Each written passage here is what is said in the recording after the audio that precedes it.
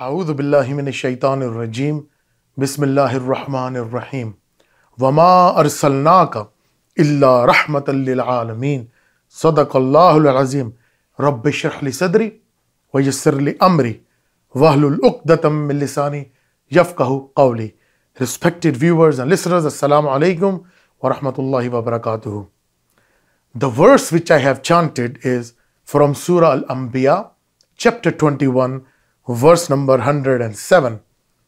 Allah says that we have not sent you, O Prophet Muhammad, but for whole of the mankind as a mercy. Chapter number 21, verse 107 why I have chanted this verse. Because most of the people or the Western societies or Western people, they do not know that Prophet Muhammad, peace be upon him, was sent to the whole of the mankind, not to the particular Arabs, which most of the Orientalists or people they have in their minds. The eulogizing of Prophet Muhammad, peace be upon him, has to be done into the whole of the world as a mercy. Today, the topic is about the stature of Prophet Muhammad, peace be upon him. I would like to educate to the people, especially non believers or non Muslims who do not know the, the stature of Prophet Muhammad, peace be upon him. Prophet Muhammad said, if anyone hears my name and do not believe in me, will not enter into the paradise. Now make your choice. You have to prove that Prophet Muhammad, peace be upon him, was not the true prophet. This is, we owe to you, or you owe to yourself this knowledge that you have to sift that really Prophet Muhammad, peace be upon him, was a prophet or not, or impostor, inverted commas, according to the Western standards.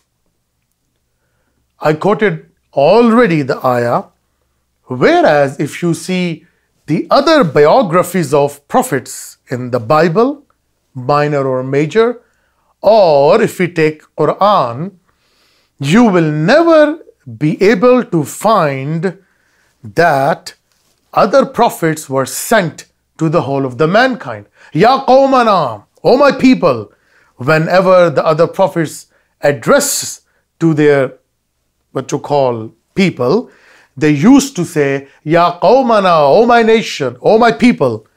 But when Muhammad said and addressing Ya ayyuhan nas, O mankind, through Archangel Gabriel, and Allah is revealing to Prophet Muhammad, say, O mankind, Ya ayyuhan nas, never address Ya qawmana, O my people, because Quran is the final testament, whereas the other books were not. They were sent only to the particular people and the particular time, and that's all. It was the fittest message to that nation, to the particular time and era. But Quran speaks totally differently. Quran addresses to the whole of the mankind that this book, oh people, come, take the challenge of this book. If you say think that this book is not from God, they would have been so many discrepancies, double statements, contradictions. You would surely find in it. Allah says, open to everyone, come, take this book, have a litmus test, make a test, check the level, and you will see your heart will testify that this is Al Haqq and we find this verse in the Quran. Allah says in Surah Fusilat that we will surely show our signs in the horizon in front of you and within your own selves, and your heart will testify that this is Al Haq, that this is the book which is true. You see, which book uh, makes challenges? I'm asking, does Bible make challenges? Does Gita or whatever the other books of Hindus or whatsoever lumped up any so-called holy books, do they make any challenges? Quran is the standing miracle, not the miracle in the books, which is the old times. ancient tales, etc. Quran is here. Come, accept the challenge. The biggest miracle of Quran is that it has been memorized in the people's heart. Everyone, little child can rattle it off. Maybe he doesn't understand. But the point is memorization. You eradicate whole of the parchment of the Quran. You cannot eradicate from the hearts of the people. Prophet says, I'm leaving the book with you, the book which cannot be eradicated through water. And Quran says itself, Allah says that we have kept this book in the into the hearts of the people, Sadur. Can't you see this is the standing miracle? And then Quran gives the test and he places Surah Al-Baqarah chapter 2 verse number 21 22 then Surah the Yunus chapter 10 verse number 34 to 38 then Surah Al-Hud the next chapter after chapter 11 verse number 13 then Surah Al-Isra chapter 18 onwards Allah subhanahu wa ta'ala keep giving keeps giving the challenges after challenges. But he stops at Surah Al-Baqarah. He says that you can never produce or you'll never be able to produce something like of Quran Do it. You can't. If you cannot produce anything like of the Quran, then what is the answer? Allah gives the answer that وإن لم تفعلوا ولن تفعلوا فاتقوا النار التي وقودها الناس والحجارة أعدت للكافرين Allah says that do it, create something, replicate it. If you are unable to do it, then ready, be ready for the hellfire, whose fuel is men and stones, prepared for the disbelievers. Challenge is there either accept Quran or then produce something like of it. Either way, you have to do something. You have to let the camel to sit either one of the sides. You cannot just let it happen, keep standing, that's all. Either go to left or go to right. But if you want to be a middle monkey, there is no salvation for you. This is but pure message from Quran. If you hear the name of Prophet Muhammad you have to believe in him. There is no other salvation. There is no other heaven or hope beside that. And this is what Jesus said when the disciples were asking, he said to them, I am the way, the truth, and the life. That time of Jesus, he was the way, the truth, and the life. At the time of Moses, he was the way. At the time of Jesus, he was the way. And at the time of Prophet Muhammad, he was the way till doomsday. Why? Because this prophet has to be for eternity, for eternal purposes. And that is what Prophet Muhammad, he has been prophesied in all the previous books. Read his biographies. You see, great people read about him and they couldn't continue reading because they said that this is something not befitting to the majesty of Prophet Muhammad, peace be upon him, to keep continuing reading about his stature, about his great things. They eulogized him so greatly, so profusely, that they give real justice to him. And look at us, what we Muslims are doing. Are we really keeping eulogizing our Nabi, our Prophet, to the right culminating point, to the summit of mountain? Are we, ask yourself, that are we really taking care of our Nabi, his stature? You see how much caricature is going on against him, assassination, his characters, character assassination. So please, there is no other way. Har ko jabini jahan rangobu. हाँ कि अज खाकश बरोयद आरजू या जे नूर मुस्तफ़ा उरा बहास्त या हनूज अंदर तलाश मुस्तफ़ास there is no other way than to accept the stature of Prophet Muhammad and this message to the Western people, where the inner core is totally Quran in the Middle Ages. When the Dark Ages were gone, what happens after that? These Western people, when they learned all the things from the universities of Spain, the Muslims, they implemented. So all the inner core of everything was Quranic. We forgot to preach that. Wherever you find the good things about sobriety, morality, brotherhood, piety, empathy, sympathy, all are the fruits of Prophet Muhammad Western people, either they are following it willingly or unwillingly. Everything goes to him who Prophet Muhammad, peace be upon him, who started the police system. Umar ibn al-Khattab, anhu. Napoleon Bonaparte said, if this world produces two Umar, one in the east, and the west, there will be peace and serenity in the entire world. This is what Napoleon Bonaparte said. Read Mahatma Gandhi, what he said about Jesus of Nazareth and Prophet Muhammad, peace be upon him. Read the people, read their histories, biographies, what these people wrote and how they were inspired. They were not like today's people who are enslaved of information. They were knowledgeable people. They know what to do. They were pervasive. They know how to talk, how to utter, how to proselytize. Not just talking an apologetic way. They were not like that, those people. Thomas Carlyle, what did he say? Many big scholars of the past, philosophers, thinkers, non Muslims, I'm talking about, what tribute they gave to Prophet. Michael H. Hart, what he said about Prophet. George Bernard Shaw, any religion in 1850s in Royal Albert Hall, any religion which has a tendency to conquer the world, he said in England, nay Europe, within 100 years will be Islam, but we let it down. We made Islam a spent force. This is our problem. Why we have made Islam a spent force? This is our problem. This is our weakness. Why? What happened to us? Why we have lost this assertiveness? We should be assertive enough to do our job, to do things. We should be ready enough. We have all postponing of things. We have weaknesses. We should figure out all the angles. We have haq. We have the guidance. This guidance was given to Jews at the time of Moses that they were the torch bearer to the rest of the world, but they got enough of it that Allah already got rid of them. Now they have lost the role, they have lost the job. The job of what? Beacon. They were supposed to be the beacons to the world, but they made their religion a racial religion. This is not our case. We have the haqq.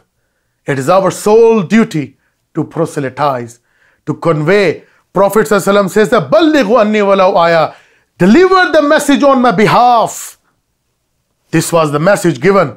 And the last pilgrimage, his sermon, the last sermon, he's telling before departing this world, he's saying that deliver the message from my behalf or on my behalf to the people who are not here.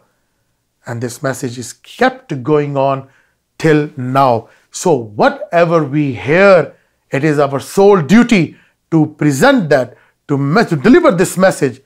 We cannot just keep working Allah says in the Quran, if you are just like that, just selfish, talking about selfless, you're just, you know, living for your own self. Allah says in the Quran, He said that don't be like the cattle who just give milk, deliver babies, you know, procreate, and then sleep. Allah give them example, similitude, be like the lions of God.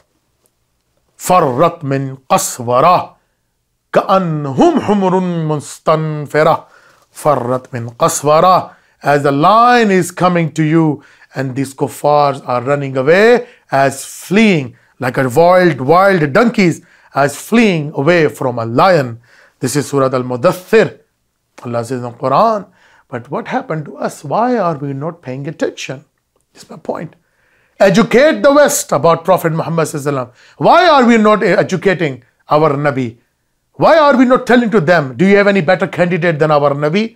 What is matter with what's the matter with us? This is the problem. What is the matter with us?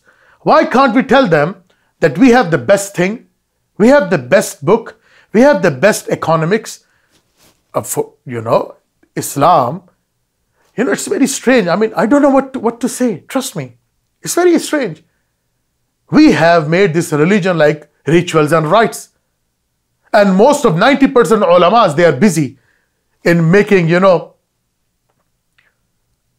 I don't want to say something, then it becomes controversy over me. Just leave it aside. I don't want to talk about that. But people are not blind. We can see what topics, mostly 90% of the ulamas they have on YouTube and what they are discussing. And this is sad. The things which are the important things, we are not discussing. The spine of Islam, that Islam is total socio-political economic system. It's a deen, it's a way of life. This is we ought to tell them. We have economic system. We have a whole statecraft, the blueprint and implementation by four guided caliphates. We don't need anything. We don't need Lenin. We do not, we do not need any Hitler. We do, we do not need any kind of people. You know, like this everything, what to do to give new ideas against communism. Joseph Stalin comes, then the Russia comes, then Tsar comes. We don't need these things. We have everything. We have everything. And unfortunately, we are not abiding with that. What is happening to us? Why have we become spineless, emasculated? Like Sheikh Ahmad Deedat Rahimullah used to say, that we have become castrated. This is a very strong word. I don't want to use this word over men. This is very sensitive, but this is true. Castrated, emasculated, spineless creatures just walking like a weight on the shoulders. Men are not behaving like men. Women are behaving like men. This is the bitter truth, irony of fate that we have been going on. And for many, many years, look at the things happening in Gaza. look at the things happening in right now Rafah. How can we face Allah subhanahu wa ta'ala? I don't understand. Our prayers, our good deeds, are they being accepted in the sight of Allah or not? I do not know. And trust me, we don't feel any charm when you pray because in the heart you are so sad demoralized. Demoralized of what? The things happened around us. Is Allah is accepting our deeds or not? Allah knows. Because we have very great internal evidence in Islam that if we do not care about our people, haqukul ibad, our whole good deeds has no value. Now this is very simple philosophy of Islam and may, all ulamas know this, but they don't tell you that. Don't tell you that. Prophet ﷺ give simple, simple examples in hadith. If husband is angry over his, his wife and wife is praying whole night, Allah will not accept his prayers, her prayers, because husband slept uh, with the bad mood or whatever. Can you believe these are the things? So this is husband. What about the relation with your Muslim? Prophet says all the ummah is one body, one jasad. If one part feels the pain, the whole should feel the pain. How come? So I do not know, but it doesn't mean that we should not do any rites and rituals. But my point is the pain, guys, the empathy, the sympathy, the ambivalence which I feel now while praying, it's something strange. But we have to pray. We have to do all the things in Islam.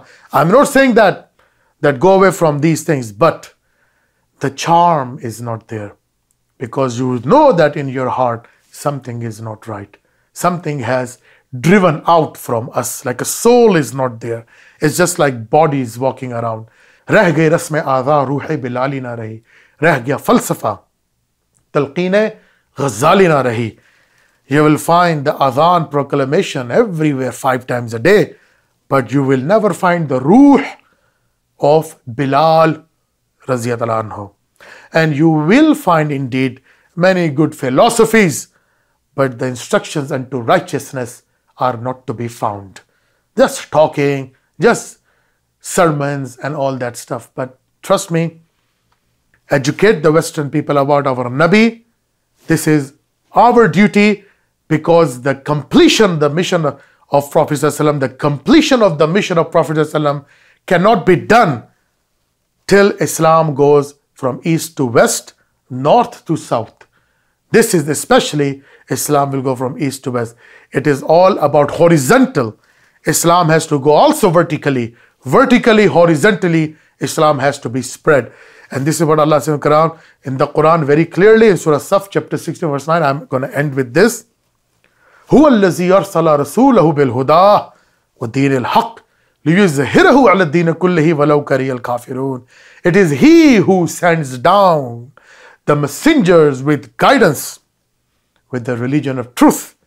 And He makes sure that the religion, it will conquer all other religion. And this will happen before the end of day and we have to be the support for that. It will happen, وَلَوْ كَرِيَ الْكَافِرُونَ How much the kafir will detest it. وَلَوْ كَرِهَ الْمُشْرِكُونَ How much the mushrik will detest it. وَكَفَى بِاللَّهِ شَهِيدًا And Allah is enough to witness to this fact that His religion will prevail with you or without you. وآخر دعوانا عن الحمد لله رب العالمين